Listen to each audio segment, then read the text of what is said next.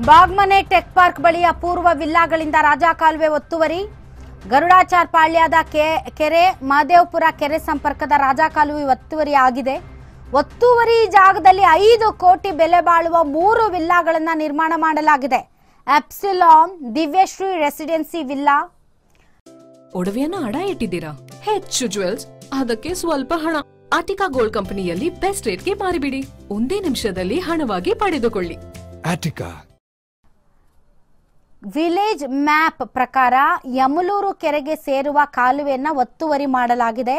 ಈ ಒತ್ತುವರಿ ತೆರವಿಗೆ ಕೆಲವರು ನೋಟಿಸ್ ತಂದಿರುವ ಹಿನ್ನೆಲೆಯಲ್ಲಿ ಜೆಸಿಬಿಗಳನ್ನ ನಿಲ್ಲಿಸಿಕೊಂಡೇ ಸ್ಟೇ ದಾಖಲೆ ಪರಿಶೀಲನೆ ಮಾಡ್ತಾ ಇದ್ದಾರೆ ಅಧಿಕಾರಿಗಳು.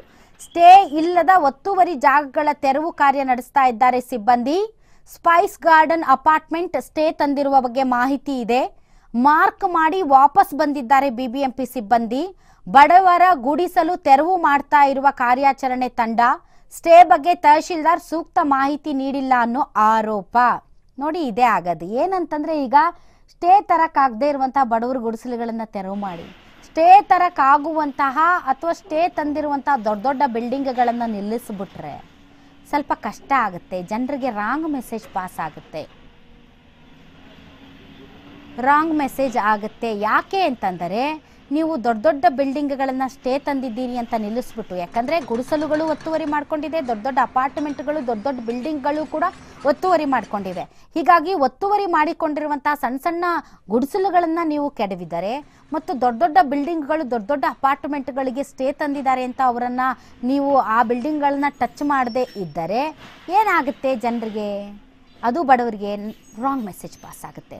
ಬಡವ್ರ ಮೇಲೆ ಅಷ್ಟೇ ಇವ್ರದ್ದು ಜೆ ಸಿ ಬಿ ಶ್ರೀಮಂತರ ಮೇಲೆ ಇವ್ರದ್ದೇನೂ ನಡೆಯಲ್ಲ ಅಂತ.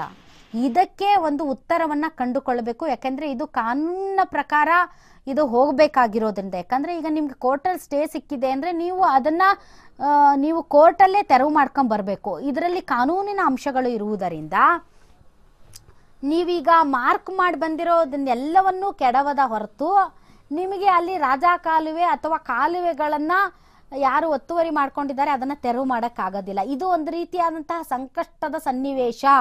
ಈ ಸಂಕಷ್ಟದ ಸನ್ನಿವೇಶದಲ್ಲಿ ಮಾಡಿದ್ರೆ ಅಷ್ಟು ಮಾಡ್ರಿ. ಬಡವ್ರದ್ದು ಮಾಡಿ ಶ್ರೀಮಂತರದ್ದು ಬಿಡ್ತೀವಂದ್ರೆ ಇದು ಭಾರಿ ಚೆನ್ನಾಗಿರಲ್ಲ ಅಷ್ಟೆ.